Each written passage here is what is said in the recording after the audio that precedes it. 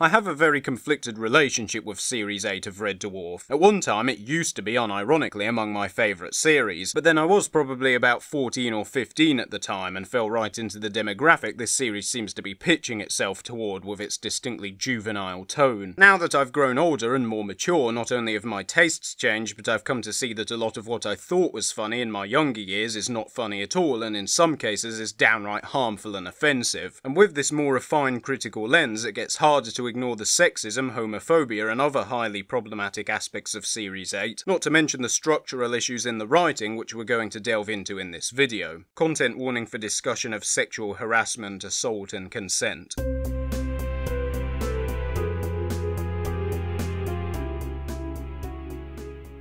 The last time we covered Red Dwarf on this channel, we discussed how Series 7 marked a shift toward the show becoming more drama focused and cinematic to varying degrees of success. Well, Series 8 veers in the opposite direction with the emphasis now on lowbrow comedy comprised of slapstick and toilet humour. On the face of it, this change in artistic direction is a strange one, but then there are many strange things about Series 8. The opening story, Back in the Red, sees the entire original crew of Red Dwarf resurrected by nanobots and the main cast being put on trial and convicted of charges that that don't make any sense and thrown into the brig, an onboard prison for transporting violent criminals that has been retconned into existence on board the industrial mining ship. If you're wondering why any of this is necessary given the existence of stasis pods as a core part of the show's premise, don't expect an explanation. I can only speculate that what must have happened here is Doug Naylor had this idea for a prison comedy series he wanted to do but couldn't find anyone to take him up on it so decided to make it a series of Red Dwarf instead, even if it makes no sense and barely feels like the same show anymore. Now, don't get me wrong, I'm all for a shake-up of the format every once in a while. I mean, let's not forget the decision to confine the crew to Starbug for Series 6 produced some of the greatest episodes of the show. But the problem is, with so many recurring characters joining the cast, like Ackerman, Captain Hollister, and Killcrazy, as well as the return of Rimmer and Holly, the lonely claustrophobia of the previous series is lost. And with less room to focus on each individual, some of the main characters inevitably get the short straw. Norman Lovett's Holly is no more than a device for dispensing one-liners, the cat might as well not be here, and Kochanski's character is a significant downgrade from the previous series. I'm not going to say she was brilliantly written before or anything, but at least the jokes didn't all revolve around her being the token female. Sure, that dynamic was there, but there was a bit more nuance to it, with her being a fish out of water character due to her educated background putting her at odds with the rest of the dwarf's low-life antics. The way she is written in Series 8, by contrast, how can I put this, it's very r slash men writing women. To give you an example, in the episode Pete, the Dwarfers find a time wand device that can revert you physically back to an earlier point in your life, which incidentally I think is what must have happened to Doug Naylor when writing this series. And out of nowhere, Kochanski asks if it can do boob jobs. You see, it's funny because she's a woman and women have boobs. This is what I mean about the writing being geared toward 14 year olds. I just can't help thinking of how unimpressed Sophie Isles was with the male gaze element of Series 7 on the Red Dwarf podcast, and I cringe at the thought of how she would have reacted if Adam and Philip had introduced her to this series.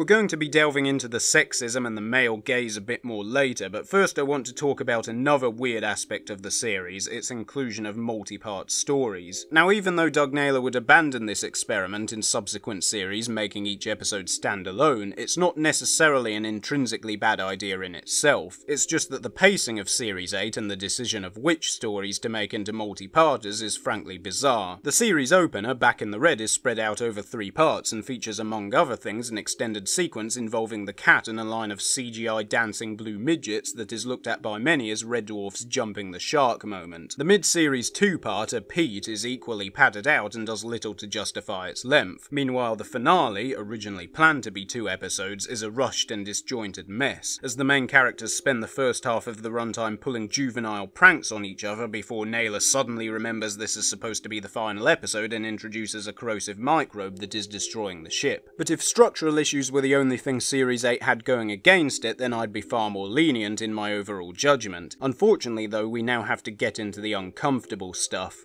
Now, I'm going to preface this by saying that lowbrow, risque humour in itself is not necessarily problematic or even bad. For instance, the subplot in Pete about Kryten making himself a penis and naming it Archie I do find genuinely funny, even if it is yet more needless filler in an already terribly paced story. But it's all about the way in which it is framed and where the punchline lands. What I'm getting to here, and there's no way of saying this comfortably, is that Doug Naylor seems to think, or at least he did at the time of writing this series, that non-consensual sex, just as a concept in of itself, is absolutely hilarious. To be fair, some of it may have been the influence of his co-writer, Paul Alexander, I don't know, but either way it's concerning to say the least. One of the episodes, Krytie TV, involves the main characters watching a voyeuristic show of the women showering without their consent, and Lister's explanation for why he went along with this is that he couldn't help himself. So basically pulling from the Joss Whedon handbook of excuses. So much for him being the character of strong moral principles. Perhaps more troublingly, and back in the red, he appears perfectly okay with the idea of using what amounts to a date rape drug to take advantage of Kochanski in another scenario that naturally is played for laughs. The sexual magnetism virus was first introduced as a throwaway gag in Series 5 in what is a good example of where the earlier series knew where to draw the line and when to stop. Because although it might be an amusing concept, like any kind of love potion MacGuffin, it raises a lot of troubling questions about consent which can't really just be ignored if you take it too far. The fact that it is used almost exclusively by men on women just adds another level of yikes. I say almost exclusively because there is the closing scene in which Lister pours the virus over Rimmer in front of his fellow inmates. Now serious talk here, this is one of the single most repulsive things I've ever seen in any piece of media, and I don't care if humour is subjective. If you try to defend this scene, then you are a sick twisted excuse for a human being. Not only is the punchline that someone is about to be raped, but I think the clear implication here is that of course the other inmates would be attracted to Rimmer, because they're scummy, low-life, sexually deviant criminals, even though no other men had been shown to be affected by the virus up until this point. So this scene is also homophobic. Now you might think all of this is excessively harsh, but there is a good reason for it. For millions of women living in the UK and other parts of the world, sexual harassment and assault is something you just have to live with on a